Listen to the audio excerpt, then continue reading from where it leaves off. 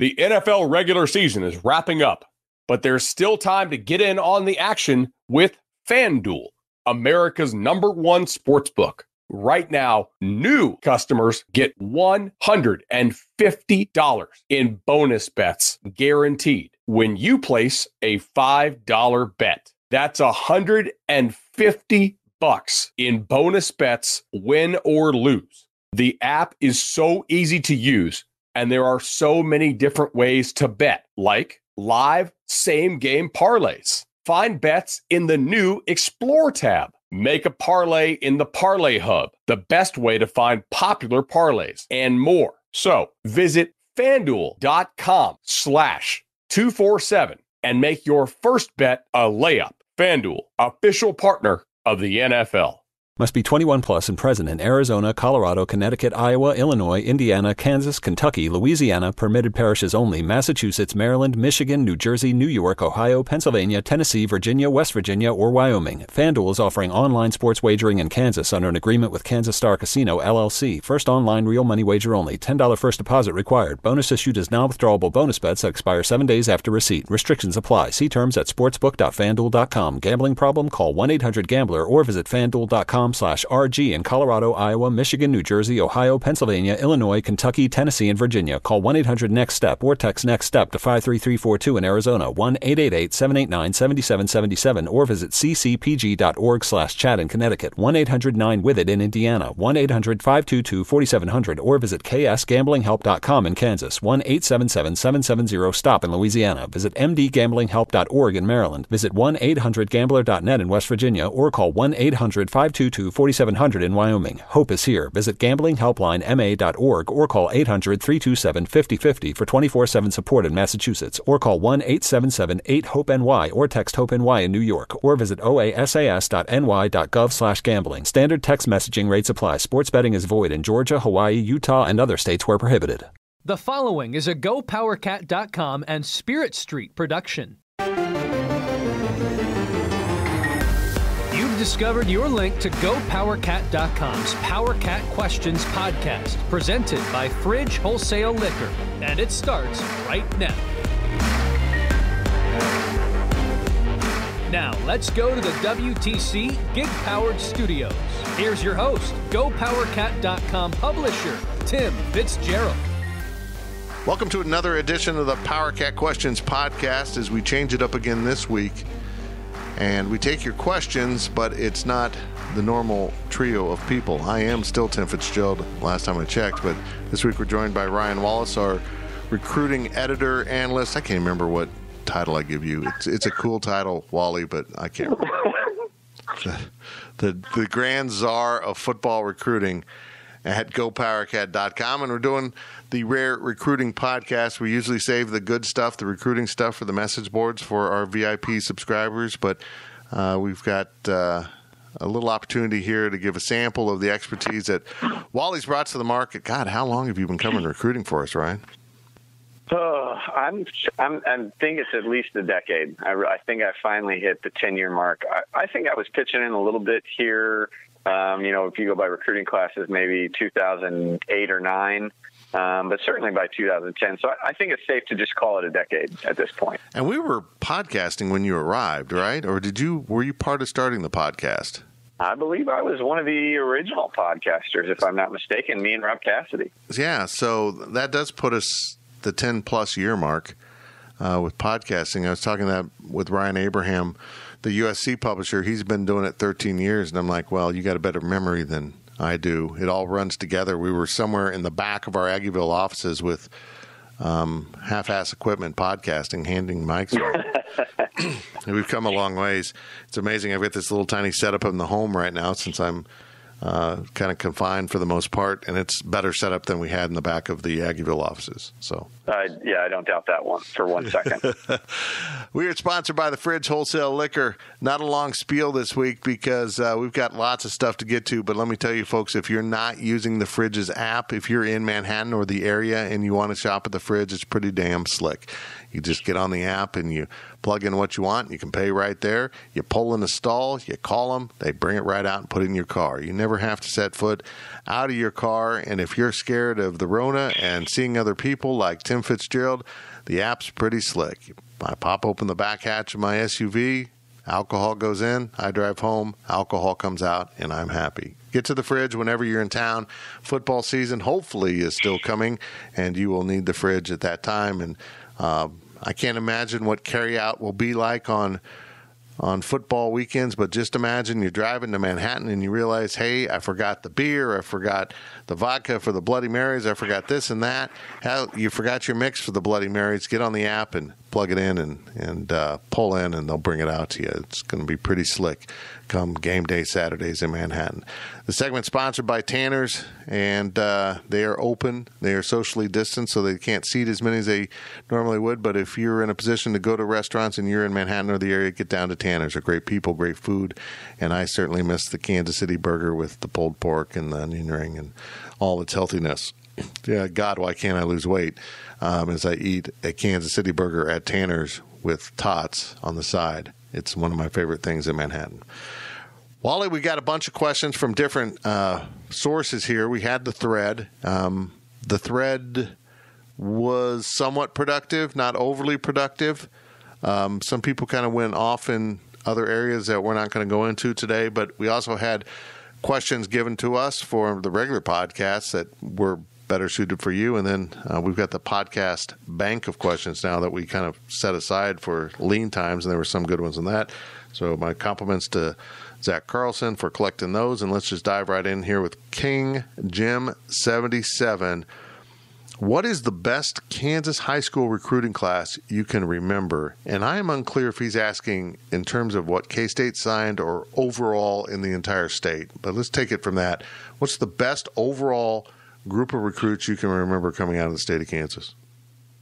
Uh, this is going to be there, there's a couple different ways you know you can look at it, Fitz, because you can look at it strictly from a recruiting standpoint, you know, their value as recruits, or you could look at it as, you know, how did these guys end up panning out? Um, but I like to look at it from just the recruiting standpoint. I, you know, panning out is for, you know, uh, down the road. If we're just talking strictly as recruits, I'm going to be honest. I think 2020 and 2019 are, are, you know, strong as we've ever seen, specifically 2020. Um, we're talking Turner Corcoran, uh, Ky Thomas, Daniel Jackson, Taylor Warner. I mean, Nate Matlack. Let's let's think about it this way: Nate Matlack is a fringe top five guy in 2020. Hmm. Fringe. Um, you put him in virtually any other class in Kansas, and he's bona fide top three, you know, maybe making contention for the number one spot. But I would probably say 2020. I mean, there have been some others in the past that have been good. 2016 comes to mind. You know, that was Xavier Kelly, Isaiah Simmons, Amani Bledsoe. Mike McCoy was in that class. Teven Jenkins, that started for a number of years, Oklahoma State, was in that class. Uh, 2011 was really good at the top. You know, you had Jordan Phillips, uh, Bubba Starling, and Shane Ray, who's gone on to have a successful NFL career. And then I would say 2010 might be forgotten. Um, Blake Bell was a member of that class. Um, Geneo Grissom, Joseph Randle. Um, but even, you know, further down that list, you'll find guys, you know, Trey Walker, Curry Sexton, BJ Finney. Um, that was a that was a quietly, you know, decently good class. Um, but I think I think if you're looking at it from a recruiting standpoint only, you know, looking at these guys and their value in the recruiting world of high school, I think we're going to look back and I think 2020 is going to be as strong as as I've ever seen. Well, your point with Nate Matlack really hits home because I, I haven't hidden the fact that I think he's tremendous, a great fit for Kansas State. Now that you've gone out, excuse me, now that you've gone out and um, seen him in person working out with Elijah Lee and Ryan Mueller. What are you? Have, have, your thoughts been edited a little bit on what Nate Matlack's about, and you think he can have an immediate impact this season for Kansas State? No, I think he can definitely have you know a very very quick impact. It, it's funny that he's training with a guy like Elijah Lee this summer because that's the kind of impact I think we could see him have as a freshman. You know, situational third down pass rusher um, and then you know kind of let him come into his own a little bit. You know, I, I think he's good enough where he won't redshirt um, if he ends up carving out a role in that kind of. We used to call it the jet package on third downs with Coach Snyder, but um, you know, maybe he does redshirt, but it, the only reason I think at this point, from watching Nate both in games and in workouts, the only reason I think uh, it's possible that he could redshirt is simply because they just want to put a little bit more meat on him. And I mean, he's he's already 225 and could be 230, you know, after you know a couple months with Chris Dawson. Um, but I could see them saying, you know what, let's hold off. Um, we'll let guys like Boom Massey finish their careers out, um, see what Khalid Duke can do in year two, and give Nate some time to really thicken up. But I mean, he's he's big. I mean, he's bigger than Elijah Lee, both taller, you know, longer, um, moves well. I don't know if he can be a linebacker. Maybe um, he practices some of that stuff, but uh, Fitz, he's he's the real deal. I mean, he, he he is the real deal. Taylor Warner has that potential. There are other guys in this class that we've talked about back on signing day that have that kind of that that high ceiling. You know, we we both love Carver Willis and Whit Mitchum and those kind of guys, but Nate Matlack is is the real deal. He's the closest thing that I've seen from a high school guy in this class, anyway, live and in color, that you know pops off to the point where you're going, yeah, he could play as a freshman. Well, you mentioned Khalid Duke. That does remind me a lot of him and how they used him. I mean, he's he would come in on that third down rush package that uh, I still call the jet package. I'm, I don't train me, uh, give me new tricks to learn. I can't do it. um, I, but I can see him sliding right into that role. It will be fascinating to see because they did burn Duke's redshirt. I forgot he did play seven games, so mm-hmm. uh, he's a sophomore, and um, if they'll do the same with Matlack. Yo Mama wants to know: Do you see similarities between Matlack and Tanner Wood? I don't. No, not at all. Not not at all. Tanner Tanner was one of those guys that you know coming out of high school and especially as he grew at K State, he was kind of an anchor. You know, he was a guy that would set the edge and kind of you know force running backs to get back inside. You know, wasn't the type of guy that was really this quick twitch yeah. pass rusher guy that would frustrate the quarterback. He was just a very he was an anchor on the D line. Nate Matlack is very much a you know pressure the pocket kind of guy. Right. Right. Itan BP really makes an interesting observation here. He says, I could be mistaken, but is it a coincidence that, or just a style that Chris Klieman seems to recruit one position heavily at any given time? He recruited many running backs in his first year here. Uh, and of course, the cupboard was bare. But over the last few months, he kept hearing many tight end names on the board and a bunch of receivers committed all at once. Is this by chance or is this kind of by design where they get momentum in a position and they just stock it up at once? I don't know if it's necessarily momentum. I just think those happen to be the areas of the greatest need. And so instead of just finding one guy um, and, you know, being satisfied with that, I think they try and, you know, they try and get more depth at a position overnight as opposed to over a, a series of classes. So, like last year, they knew that they needed more offensive linemen, specifically offensive tackles, and so they went heavy there. Tight end has been that type of area this year, although some of that is because they just haven't had as much luck getting some of the tight ends that they've offered in this 2021 class. But um, you know, they they look at their needs and they hammer those needs um, to make sure that you know on the back end when it comes time around signing day in the winter, they're not scrambling for guys that they have what they need at those positions of need, and then they can go out and find kind of the uh, best available guys, uh, you know, to use an NFL draft term. Yeah. Uh, are they still suffering from the image of the tight end in Snyder 2.0? It seems like they're struggling to recruit a tight end because opposing coaches are still saying, "Hey, look, um, Casey didn't throw to the tight end. They never do. You you probably should go somewhere else." I think they need to put it on paper or put it on film that they throw to the tight end more before they have great luck recruiting tight ends. They just couldn't do it last year because of lack of productivity from the position. Yeah, I mean that's definitely what it is. Uh, they they want to use the tight end more, um, but I think really last year they didn't they didn't really have the guys that I think fit what they want to do. And that also goes back to the offensive line. This offensive line this upcoming season is not going to be nearly as experienced, but they're going to be more fitting the mold of what Courtney Messingham and Conor Riley want to do with this offense. They're more athletic.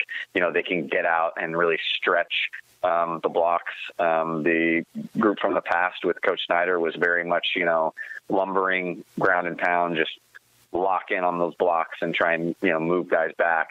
Um, so in a way, they needed offensive linemen to assist with those more stretch blocks, um, and that and that was perfect for a guy like Logan Long and um, Blaise Gammon. That's kind of what they're meant to do. Now that we're going to see more of an athletic offensive line, and they finally have the type of style tight ends that, that they want to have with guys like Sammy Wheeler, uh, Briley Moore, uh, Will Swanson, Connor Fox, these guys that uh, will have more of a receiving feel to them that will come. But yes, to answer your question long-windedly, they they just ha- they don't have the film to prove it right now. Right, they don't, and I think that'll change, Wally. I think that we're going to see tight ends more involved in this offense now that they're in the second year of running it. I think we'll see a little more diversity. Maybe I'm not sure. Very much so. Yeah. yeah. Ema Erica wants to know this. Uh, a number of recruits have committed over the last several weeks. What, if any, major recruits, such as additional four stars, are on the board or likely commits to? Uh, are the sights set on any other Jake Rubleys out there somewhere, or is uh, is this going to be another three star laden class, or or what's going on here? Uh, I, I think for the most part, and we've said this from the beginning. I think you know Chris Klieman isn't that different of a recruiter than Bill Snyder was. Um, and and also in saying that, um, you know, K State just they're never going to land a lot of four and five star guys. You know, even when you had the uh, recruiting sales pitch mastermind car salesman of Ron Prince, uh, you know, that could, you know, we've heard all the stories about, you know, Ron Prince was the type of guy that could sell ice to an Eskimo. And even he wasn't landing a ton of four star guys. I mean, right. the, the, the fact of the matter is Manhattan is Manhattan and K State is K State until you get guys that can come up on visits or until you're you know knocking off Oklahomas and Texases on a regular basis. You know, the interest level is never going to be there for guys that are at the four star and five star status when they've got you know Texas, you know Alabama, Florida State, what you know you name it. And then there's K State in there that just doesn't have the the oomph that most of those type of kids are really looking for. Um, as far as the 2021 class goes, you know, are there any four star guys out there that um, that K State, you know, might have a shot for? Uh, currently, I don't know. You know, there's there's an offensive lineman named Jordan Moko, the, the from Snow Community College, that doesn't hold a ranking from 24/7 yet. Um, but it wouldn't surprise me if he was a four star, and I know he thinks very highly of, of K State.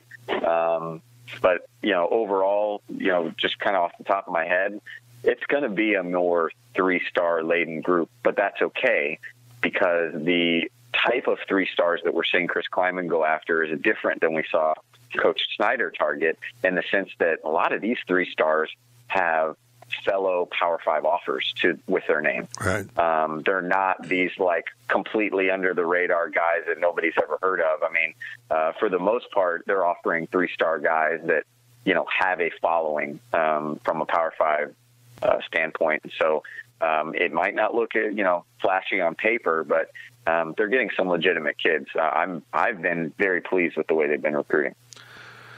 You know, people tend to think three stars are three stars, and that's not true at all. I mean, five stars are very elite. There's a limited number, there's a cap number of those out there, and then four stars are the ones just below them. And, and there's not a ton of those. There's more of those than five, but there's not a ton of those. Now, the other end of the spectrum, the two star guys are people that just don't show well. They, you know, there's some serious questions about them, or people don't know enough about them at this point. They weren't seen in camps. The film doesn't jump out, um, and they might end up being good players. Um, but the big connective tissue of all that is the three stars. So there's guys closer to four stars and guys closer to two stars, all that have the three star ranking.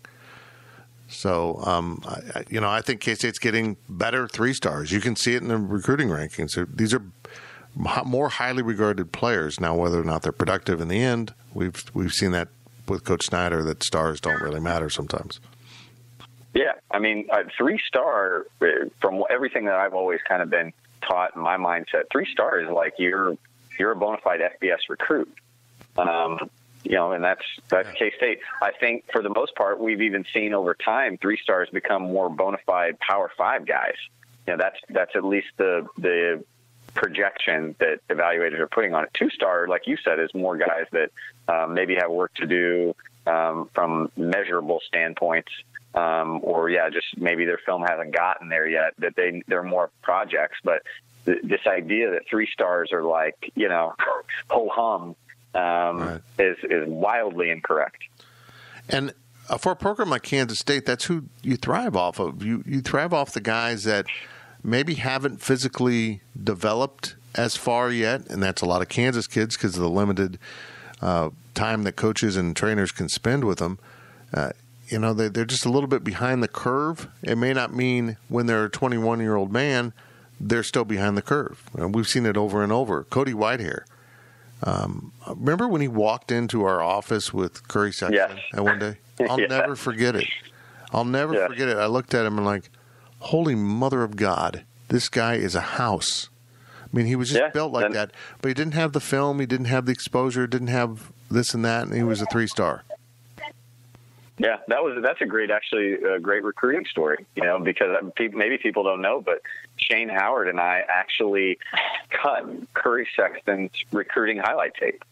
Um, and so Curry was actually in our office regularly just to kind of check up on the status of things and can he get more copies made that he needed to send to, uh, you know, coaches because that was back in the DVD days, you know, pre huddle, I think. Um, and yeah, Cody Whitehair, just since they're both Abilene guys, old friends, um, stopped in and we went, wow, this dude is a hoss. Yeah. How can we, why is this kid not a four star? Oh, because he lives in Abilene, Kansas. Right. And then a few, few years later, I'm at a five star camp in Baltimore and I'm standing next to the offensive line guys and I'm like, they're physically impressive, but I still think the most physically impressive high school offensive lineman I've ever seen was Cody Whitehair. That was proven at the college level, and now it's proven at the NFL level as a starter with the Bears. So it's yeah. it's funny, guys. Guys, missing. You know, this kind of transitions right into uh, a question from Wagcat. How involved can someone in your position get if there's a borderline kid that isn't getting interest? I'm sure you can let KSU know about them, but if you've ever felt compelled to reach out to certain schools, if you believed enough in a recruit that wasn't getting attention, maybe let a North Dakota State or a Northern Iowa know a kid was worth a look. Uh, I should note here that. Uh, it is unethical for us to step into the recruiting process in terms of uh, peddling a recruit to other schools, to any school, even K State. Uh, that is not only unethical, it's a violation, become part of the recruiting process, which shouldn't be confused with, hey, I want to hire you to do my recruiting film and I will send it to people, um, which is what we did with those players. Uh, you guys did with those players, kind of a little side gig. But you, yeah, can't, you yeah. can't get involved in the kids' recruitment. You're there to report on it.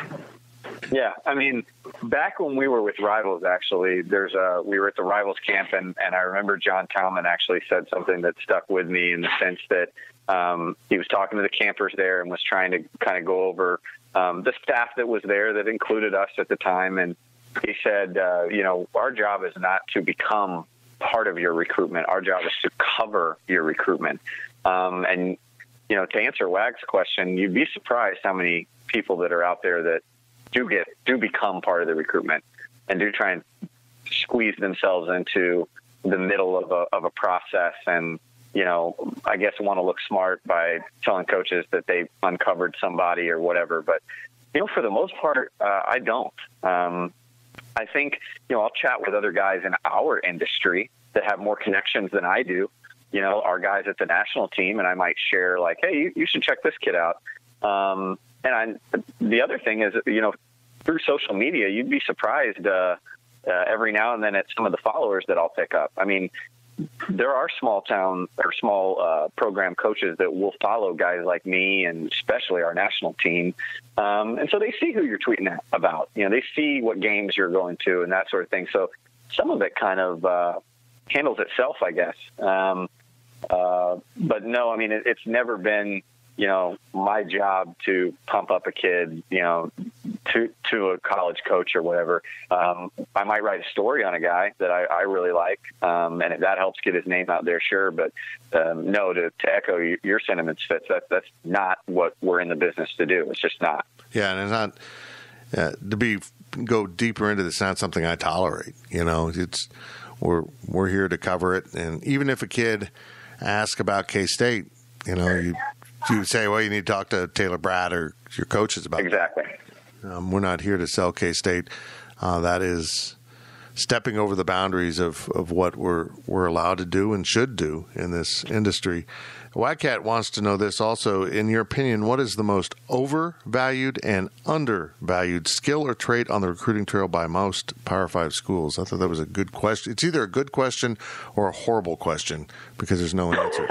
but since I'm friends with Wagcat, I'll expose him to the answer. Yeah, Wags is a smart guy. I know where he's going with this. Um, the the overvalued skill, and I'm going to answer these based on like you know when when I hear like why a kid doesn't end up at a certain school, like the reasoning that I might hear, I'm, I'm answering from that perspective. Um, so the overvalued thing I think in recruiting is this this whole thing with measurements, measurables. You know, you'll hear all the time, well, eh, he does, we don't think he has the frame to grow into, uh, you know, a Power Five kid, or oh, you know, he he didn't run fast enough uh, at at a camp. You know, we timed him too slow. Um, you know, people will rag on the NFL. You know, and used to they used to rag Al Davis and the Raiders for getting too caught up in the numbers. And and yeah, you can, but uh, I think we're seeing a lot of college teams kind of get too caught up um, in whatever you know numbers and measurements and measurables. Um, but to me, that that can get overblown. I, I understand there are times, but you know when there's a kid that you know does everything that you want him to do, but his shoulders like aren't measuring big enough, and therefore, you know, you don't think that his frame will grow. You know, it it, it gets to be a little bit too scientific at times. I think. Yeah, yeah, I agree. Um, I think the biggest gift a coach can have at a school such as Kansas State, where you're not going to have the um, market ready five star guy that can step in and play right away. He's physically ready for college football, which is you know makes you kind of a freak if you ask me. But uh, if you're not able to get those guys, you have to be able to look at someone and say, "This is where we're going to end up with this player," even if he doesn't quite fit what you know those measurements might be now. You can see where they're going to end up, and I think uh, Todd Weiner's son is a perfect example. Todd Weiner came yeah. to Kansas State as a tight end. He was weighed about 240 pounds. To I don't know exactly. You know, he was 230. He was not a big guy, but they knew he could get big, and he got big. And now his son Austin comes along, and it's like, well, the same thing's going to happen. I mean, the the the similarities in how they look is astonishing. He's yeah. going to be a 300 pound offensive tackle. I have no doubt about it. Um, let's go back here to Wildcat Pilot um, as we wrap up this first segment here. Who are the top few newcomers you are most excited to see play this fall? And I'll define newcomers as either brand new in the program that might play right away or underclassmen that might start seeing more action than just special teams. Maybe some guys that were in last year's class that we didn't see much of. Hmm. Um, from the 2021 class, and I'm going to answer this not, uh, you know, who knows whether they play or not. I'm just talking about guys over the course of their career um, that I'm kind of most excited to see grow. Um, you know, we mentioned Nate Matlack. Uh, everybody knows about you know Taylor Warner. I, I, I like his ability. Deuce Vaughn is a guy that you know, stature wise, people are going to see him you know come out on Saturdays and go, you know, who let the the high school kid out onto the field, but his his tape is just electric. Uh, great kid, comes from a great family. Um, you know, I'm I'm really looking forward to kind of seeing what he can do. Um, Whit Mitchum is a guy that you know we talk about. Austin Weiner, Whit Mitchum is, is similar. You know, six seven, two fifty. But man, you throw his tape on, and you're like, this guy at 300 pounds will be an absolute machine. Um, so he's a guy I'm excited about, and and you know, I was telling Riley Gates at a, at a K State camp last year I said, wait until you see Hadley Panzer. He's going to be at this camp today, and wait until you see what he can do um, against guys because you know he's from Lakin, small town, western Kansas. Uh, I said, you know, he's got the, the typical K State, you know, offensive line or D line makeup. You know, he's a talented wrestler with holds all these state accolades.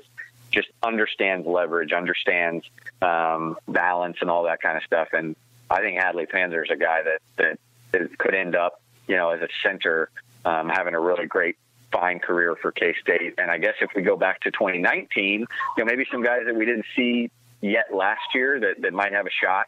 Everybody's talking about Will Jones. Um, everybody I talk to is talking about how, the, the speed that he brings to the table. You know, will he be able to carve out a role as a corner? Probably not, just because you got you know AJ Parker still there. Uh, you know, they're experimenting more with Lance Robinson. Walter Neil's back. I forgot about uh, Walter. So maybe Will Jones is more of a guy that we see on special teams, but his speed is phenomenal. I'm still holding out hope on Connor Fox. Maybe maybe this year he can start to um, crack into that tight end lineup. And uh, one other guy that I think uh, everybody kind of knows about by now um, is Cooper Beebe. Fitz, yeah. you've heard about him. We I've heard about it. If you haven't heard about Cooper Beebe by this point, um, you've been living under a rock because he is uh, going to start this year. Um, could start at multiple positions. When you talk about a guy like Cody Whitehair, I mean Cooper might be a tackle this year and be a guard from here on out after this fall. Um, but he's that good that Conor Riley is going to find a place for him on the starting offensive line for the next four years, no doubt about it.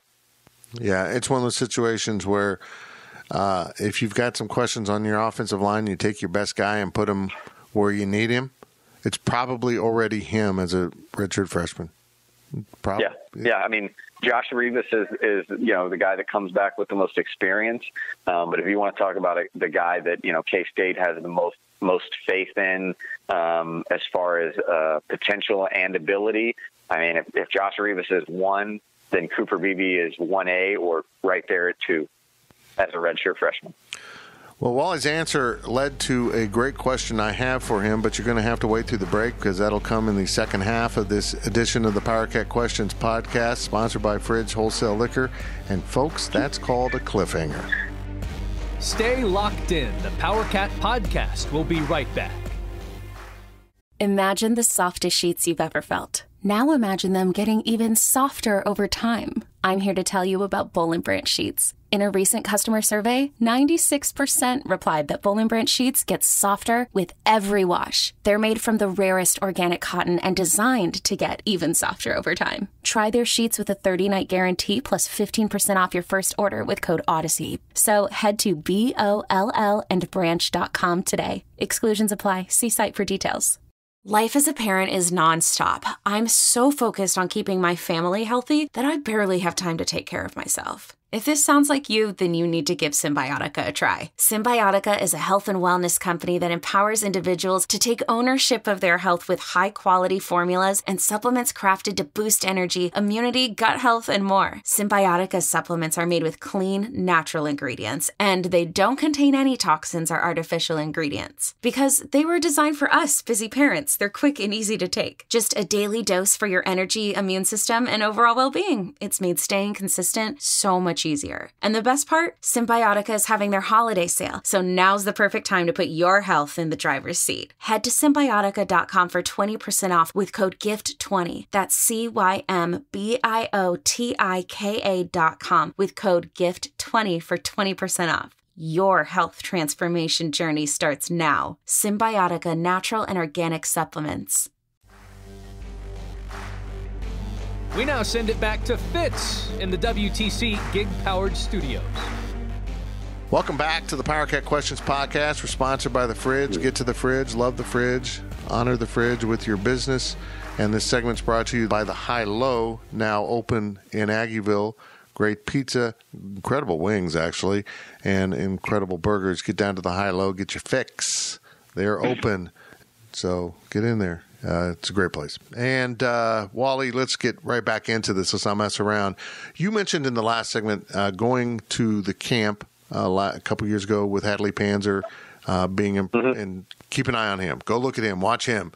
How much does not having the camps and the all the other things that K State coaches uh, really value? How much not having those is going to impact their ability to recruit this year? It's it, it hurts K State big time yeah. because this is a program under Snyder um, and and under Chris Klieman that really thrives off those camps. That is their chance to get Western Kansas kids um, or uh, you know so kids that you, maybe you, you, don't typically get out to see in the fall um, because you're busy in, in Florida or Dallas or what have you. Getting those kids in and being able to see them compete against better competition, higher level competition, um, but also all these fringe players. The K State, you know, again wants to see let's see you know how this kid runs. Let's see this kid that maybe a different position than he typically plays in high school. Camps answer a lot of those questions.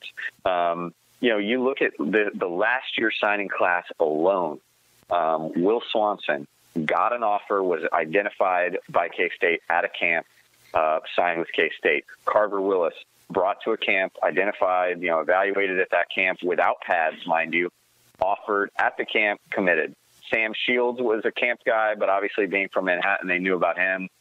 Um, uh, Taylor Warner was a camp guy that they were able to get um, after seeing him perform at a camp. Cody Stufflebean was a camp guy. Uh, I'm still going down the list. Hadley Panzer was a camp guy. Uh, Felix Anudike uh, was also a camp guy. Unbelievable. So I don't know how many I just rattled off, six, maybe seven guys that they w- were all either offered or identified, participated in a camp. And not only does it, is it for those the immediate recruiting class, but Fitz they do they've done a really good job under Coach Snyder and Chris Klieman last year uh, of you know they're they're younger guys that come to those camps too um, that they can kind of get a first look on. Um, so you think about some guys that might have come this year had there been camps. You know they they offered. Uh, uh, the Randle kid that's a freshman out of Wichita Heights he probably could have come and they could have kind of begun that relationship and you know seen him against older competition so you, you can begin building those relationships and getting early evaluations on guys at camps as well uh, not having camps is a killer it, there's no there's no way around it and the interesting thing fitz that i heard from Caleb Bratt in an interview that he did a couple weeks now uh, back and we actually featured some excerpts uh, on our site from that interview was apparently uh, Coach Bratt was uh, has uh, has talked to Coach Klieman, and Coach Klieman is actually pushing an idea, whether or not you know there's any traction behind it. Um, but it's an interesting concept of maybe pushing camps into the winter. Um, if you can't have a summer camp, uh, maybe you have camps in indoor facilities in the winter, um, and whether that's guys that still aren't committed, um, that are seniors, that are looking to maybe you know give it a final go maybe they're invited, uh, or you get the younger guys um, that again couldn't come out during the summer, could maybe come in the winter. Uh, you know, whether that's doable, uh, who knows? Um, but it's an interesting concept. You know, the process of unearthing the missed recruit doesn't happen exclusively by watching video. you can only so, see so much on video, and they're usually highlights. If you have complete game tapes, that gives you a lot more information.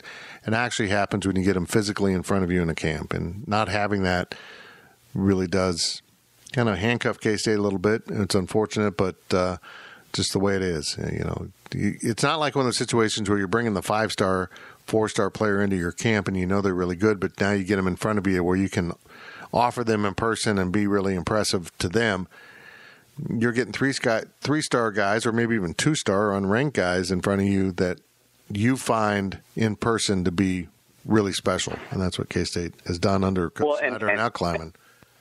And fits beyond that, something else that just came to mind that's really important about camps is these coaches get to coach them as if they were you know on the roster already yeah. and you can get a feel of okay who's going to take my coaching demeanor who, you know who's who's got the thick skin and tough enough and and wants to to listen and you know who's who's just not you know going to fit well with this style of coaching and you can figure that out literally from one day of camp Let's move on to another one from Wagcat. I didn't realize he jumped from page one to page two of the questions because he was prolific.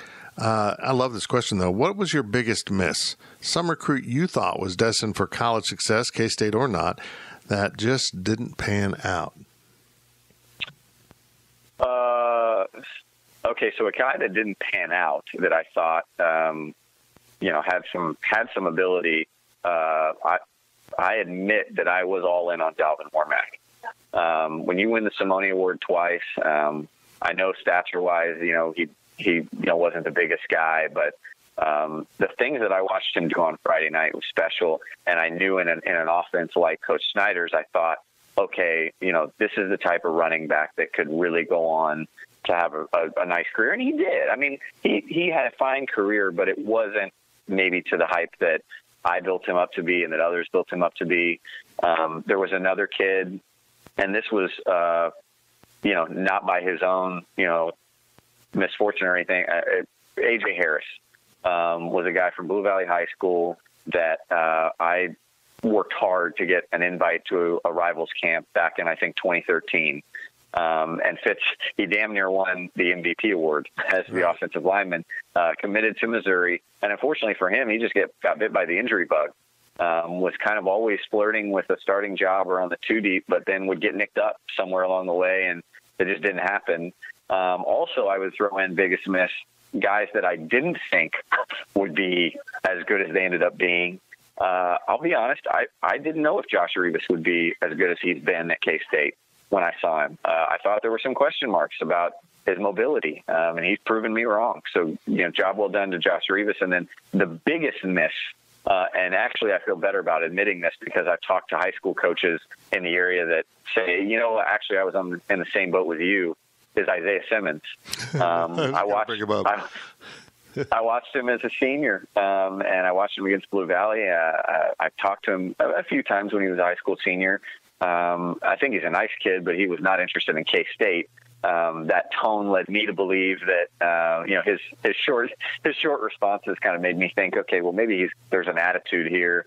Uh, kind of watched him loaf a little bit in their playoff loss that ended his his high school campaign. I just expected him to pop out a little bit more, and he didn't. Uh, and I kind of went with that one game impression and ran with it, and yikes. How, how, wrong was i? Yeah i saw him and i think you were there too at, at some camp and he didn't do much. It was a rivals camp. Yeah. he just kind yeah. of sat out most of the stuff and he didn't look like a linebacker. He didn't seem interested. He seemed aloof. He he wasn't taking it seriously and i'm like well that's that's pretty much the prescription for a guy that doesn't go anywhere but maybe Brent Venables was exactly what he needed because you don't yeah. get away with that with Brent Venables at Clemson. He's going to chew you up. Um, and boy, he turned out to be pretty good. He's he was okay. He was an okay football player. Let's just say that. Um, but yeah, that's uh, you know, and I wonder, and this is always a question you have to answer. Is there going to be a day when K State can cycle back through, build it back up, and maybe get those kids? Because uh, the case the state of Kansas doesn't produce enough players to stock one Division One football program. You know, let's just put that on the yeah. table. And and there's there's one and a half in the state. You know, there's two, and it's uh, it's really impossible to build off of just Kansas kids. But it gets difficult when you don't even get a sniff on a guy like Isaiah Simmons that doesn't want anything to do with you and that we can go down the list of all those players that have leaked out to other places. I mean, and uh, they just don't really have an interest. And maybe it was Coach Snyder's style, or maybe it's just I don't want to be playing football in Kansas anymore. I want to go to a bigger stage. I'm not sure, but uh, Kansas got to, Kansas State's got to solve that. They've got to they got to get back to getting some of those kids. Yeah, yeah, no doubt about it. Let's see. Next question from Wagcat. Um, uh, what is your biggest win for K State? Some underrated guy, locally or nationally, that you just knew was going to be big time and was. Um, I think the, the the one that really comes to mind that I, I remember after watching him work out, I just thought there's no way that this kid can't be good. I mean, there's just no way. Uh, was Jordan Willis. Um, I was I was all in on that one from the get go. Uh, just the way he trained, his mental mindset, his maturity for a kid that age yeah. um, was just through the roof. Um, maybe it wasn't as impactful right away, but I mean, we saw by the time he was a senior, whoa, this kid is legit. Um, I was always big on Scott Frantz. Uh, once I was able to see him in person, uh, the way he moved for his size, uh, I always liked Scott. Um, Kyle Ball was a guy that I just kind of had some faith in that would mature into something at K State. Um, and here's a guy that maybe you forgot about, Fitz, but I remember you and I talking about him on the way back from St. Louis, going, you know, fans might kind of put their nose up to, to this uh, commitment, the scholarship. But after we watched Winston Dimel yeah. in St. Louis, we said, this kid's got some ability here.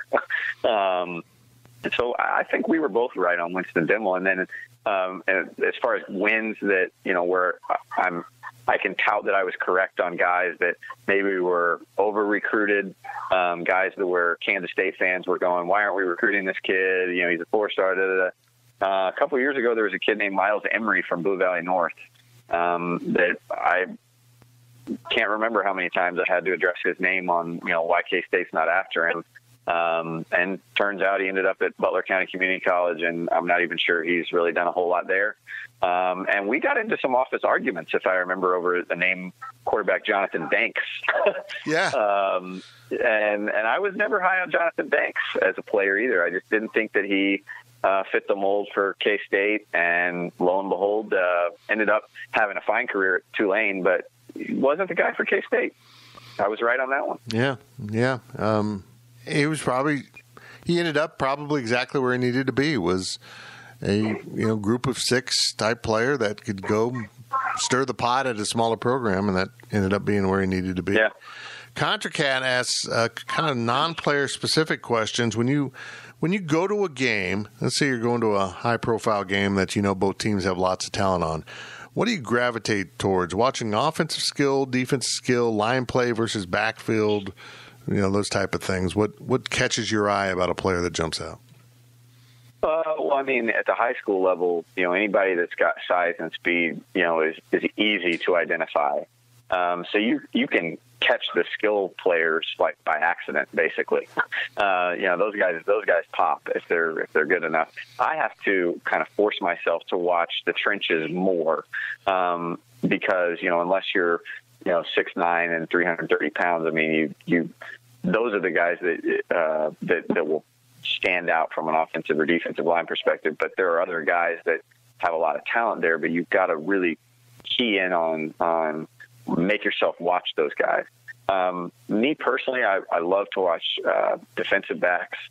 Um, again, wide receivers and running backs are easy to identify. So for me, it's always fun to kind of find the best offensive player uh, on the field and then see who kind of matches up with them on defense because that's usually going to be a guy that that opposing coaching staff holds in high regard um, as an athlete. Yeah. Um, so it's it's natural for me to kind of gravitate to the secondary, uh, and then like I said, I, I have to kind of force myself um, to keep an eye on on the, the trenches because um, there are a lot of good linemen in this area that you you'll miss if you're just busy watching running backs and quarterbacks and receivers. Yeah, that's a good point. To, to keep an eye on who the opposing coaches want to put on the star player. It's uh, because uh, if you're a high school coach, you're, you're not going to let them pick that matchup because you can get exposed exactly. pretty quickly. Uh, I was always amazed watching a video with my dad, who was an old football coach and did scouting for Salina Central still for a very long time. Uh, how he could just pick out linemen, offensive linemen in particular, that look, this whole play worked because of number 72. Go back and let's go back and look at him. I'm like, holy cow. He, he would see, like you and I, how you and I see a skill player, he would see all that with uh, with mm-hmm. the linemen. It was just amazing to watch. Mm-hmm. Uh, me cat, which I think probably is mechanical engineer cat 14. What's your opinion on? This kind of gets off of recruiting specific, but what's your opinion on college teams with multiple multiple alternate uniforms? Should K State do more? If more, what would you like to see? Does it really have an impact in recruiting? I guess. Yes. it's crazy. 100%. It does. It does. Uh, and I think the the best proof of that pudding is the minute that K State had an all white uniform um, or the cat script helmet, or even just a white Power Cat helmet that they wore like in the Liberty Bowl. Um, when recruits visit, you never see them in the primary uniform anymore. Right. I mean, when they have their photos taken that they want to post on social media, they all want the all white. Uh, uh, you know, if K State had uh, I don't want to say all purple, but if they had a black uniform, they would be in black. You know, if they had any sort of as many combinations as K State wants to come out with, I don't think you have to go to Oregon level by any means. Um, but you know, TCU's done a nice job over the years of having, you know, a couple couple different things each year um, that they can sprinkle into the mix. Um, even Oklahoma State, I think, does a good job, and they've got a ton. Maybe you don't need that many alternates, but they do a great job of sprinkling in retro looks and uh, you know kind of exotic, you know, new age looks, and even just different color combinations of their primary design. It it's not hard. I mean, it, it really isn't. And I know K State is is working to add more of that to their, you know, closet, their wardrobe. Uh, but it also takes time, you know, mm-hmm. and that's probably the thing that I get frustrated at. I have to remind myself, and I know fans probably don't know all the the inner workings, but I'm, I'm sure if we were ever able to sit down with Al Serby, who is the equipment manager for K State, he'd probably tell us uh, and reiterate that you know there are contracts and discussions and things with Nike, and then it's got to go through Klieman, and I mean there's there's a process to, to get a lot of those things, but I know K State's working towards it, and it's a good thing because recruits love it. The best evidence I saw, and we certainly witnessed a lot of it with the alternates that Chris Klieman had, when Bill Snyder finally did the camo helmet, which really wasn't that radical. It was just a white helmet with some camo on it, you know, and but all the recruits wanted that helmet. That's what they wanted to have on. I'm like, well, that pretty much shows you that's not even a great alternate helmet, and that's still what the kids want to be seen in. It was very well. Fitz, I remember, I remember the, and maybe you do too. This will, you know, kind of refresh things a little bit. But there was a uh, there was a senior day game against Iowa State, and I want to say it might have been uh, John Hubert's senior year, Colin Klein's senior year ish. Um, anyway, so what, what, are we looking at? 2013 ish, um, where Coach Snyder allowed the team, for whatever reason, they've just been asking, and he let them wear black socks. Black socks. That's all they wanted. And they and had the a team riot. Flipped out. They flipped out. They thought it was the greatest thing on earth. And all it was was black socks. So, uh, yeah, kids care about that kind of stuff. It's crazy. I mean, it, you know, it. I guess when you're never allowed to have sweets as a kid, Jello is awfully good. You know, there you it's, go. it's exactly what it kind of was. Snarecat three. Uh, how has your coverage routine changed with this new coaching staff, and which is really they've really revamped the recruiting approach. Compare your routine before to what it is now. Did life get easier or busier? Busier. Yeah, a lot. A lot. a lot. A lot busier. Uh, so for folks that don't know, I mean, Go PowerCat is my technically a you know air quotes part time job. Right. Uh, I have a full time job in Kansas City. I've got you know a 18 month old at home that I am going home to every day and waking up with every morning. Uh, so you know, on top of all of those things that are going on, now the, at the rate that this staff is offering kids, at the rate that this staff communicates with kids, you have to be on the ball constantly to keep up with the names, keeping up with who the names are that they find to be priorities. Um, so, and it, from a content standpoint, that's why you're seeing me roll out with things like the offer blitz um, with Coach Snyder, you never, you, you know, an offer blitz for those that haven't seen that type of content that we've put out on the website. Um, it will recap all of the new offers within, you know, a week or two week span. Uh, with Coach Snyder, you might, in over the course of three months, have three new offers. you know, I mean, with this staff, over the course of three weeks, you might have 30 new offers. Yep. Um, so it's a lot busier and it, it just takes a lot more uh, research, homework, babysitting um, to just kind of keep up with who's hearing from coaches the most, um, where are they spending time, uh, you know, who they're offering. And if you miss a couple days or a weekend, uh, you, will be in a tailspin for a while trying to get trying to get back into into the swing of things. You know, football recruiting under Bill Snyder was a part time job. It really was, and yeah, yeah. now it's closer to full time. So we're when Riley Gates was with us, he was kind of pitching in. Mm-hmm. You know, you you can't catch everything, and now Ryan Gilbert's going to get into that eventually. Zac's helping a little bit, uh, but um, it's it's incredible. It's it's just it's so different now to have um, the productivity and openness, the change in the atmosphere, because it's it's not like they're open with us; they're open on the internet. I mean, now that they can retweet right. stuff, the information's all out there. You just got to go scoop it up. It's like gold is laying in the fields. You don't even have to dig for it at times. You just go. Yeah, it's becoming it's becoming a it's becoming a team effort by necessity. You know, um, whether you want people helping you or not, uh, I, I definitely understand now. I need help. um, you know, so it, it, it's be, going to become um, if it hasn't already, it's definitely moving towards becoming more of a team effort where you'll see uh, people beyond just my name posting football recruiting stuff because that's the way it has to be. Exactly. Wildcat Pilot 88, again, what are some of the things the KSU staff is doing really well? And is there anything you can see that they need to improve on in terms of recruiting? Um, as far as what they're doing well, I just I like that they're being consistent with guys. Um, I like that that they're communicating regularly with uh, guys that have offers as well as guys that don't. Um, they're not putting all their stock in you know one barrel. They're they're kind of sprinkling it out. At the same time, maybe something that they that they need to do better. Um, uh, this is a touchy subject here. You know, you've got to be politically correct here. Um, I wonder. I do wonder at times maybe if uh, if they should zone in a little bit more.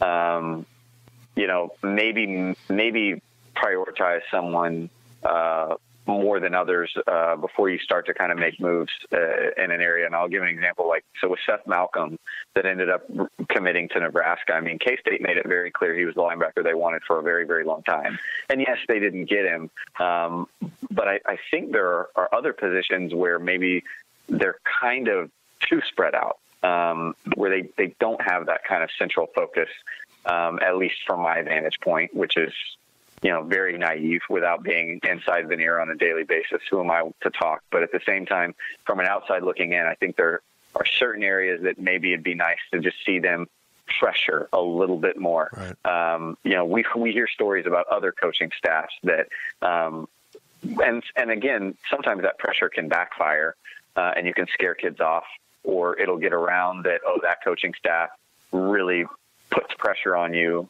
um, to commit and so there's a fine line to do it, but I think at times you wish that K State would put a little bit more pressure on kids.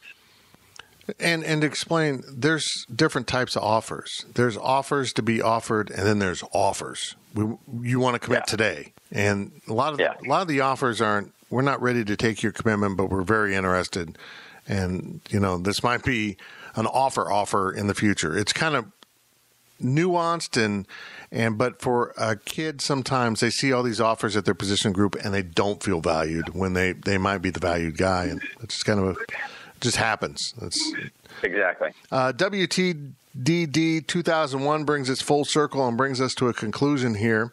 The in-state class of 2020 and 19 were exceptional, but 21 seems to be a little bit weak in the metro area, particularly. Is 22 and 23 looking strong or weak for prospects? Uh, I think 2021 isn't that bad. Okay. uh, you know, I, I really don't think it is. I've, I've mentioned this on our on our message boards before that um, is, is, it as strong as 2020 and 2019? Um, probably not. But as you heard me say at the very beginning, those were probably two of the strongest classes that Kansas has had since I've started covering recruiting. And I think guys that are even older than me would tell you that it's as strong recruiting classes they've seen you know, into the 90s. I mean, really, really strong core. But uh, I do think 2022 and 2023 are going to be um, strong as far as, you know, some of the, the top tier guys. Um, you know, 2023, you're already looking at two running backs down in the Wichita area. Uh, the Randle Jr., um, John Randle Jr., uh, that K State has already offered at Wichita Heights is a 2023 prospect. There's also uh, uh, player. The, his name is escaping me. His dad actually played at K State. Excuse me. He's he will be a running back at Derby this year, 2023 prospect. Um, give me a minute and I'll pull him up. But anyway, those two guys for 2023 um, are going to be exceptional players, uh, and I would certainly keep an eye on those two guys. Um, the oh, Dylan Edwards is Leon Edwards' son. That's oh, if wow. you remember Leon Edwards. Wow. Um, is, he, is, he, a small person too? He's he's lightning in a bottle. Yep. and I mean, he is really quick. I mean, there's already murmurs of um, is this kid with with a couple years and a little bit more weight training? Are we looking at like the number one kid in the state? I mean, that's the type of player that I think Dylan Edwards could be, and he's barely taken you know many varsity snaps at Derby. Um, so he's a guy to watch. Uh, Derby's also got a ton of 2022 offensive linemen that are really good. Um, but you know, you look at 2022 uh, in Kansas City. Um, Dominique Orange at North Kansas City is a guy that is probably going to be a four-star kid. Could maybe maybe be a five-star kid in time. Um, he's already got a Georgia offer, Texas A&M, Nebraska, K State. K State's been on him for a long time. Um, he's a guy that stands out in my mind that will be up there um, from the Kansas City Metro in 2022. Um, so again, off the top of my head, I can't think of everybody, but I do think that you know if you want to look at like from a star perspective, a rankings perspective, yeah, 2022 and 23 are probably going to have maybe some higher profile kids than what we're seeing in 2021. But I don't think um, that that makes 2021 bad. I just think 2021 is is more of a class that's built on long term potential as opposed to these more immediate um, impact guys. Very good, Wally. Thank you very much for your time. I know you're busy. This was great, man.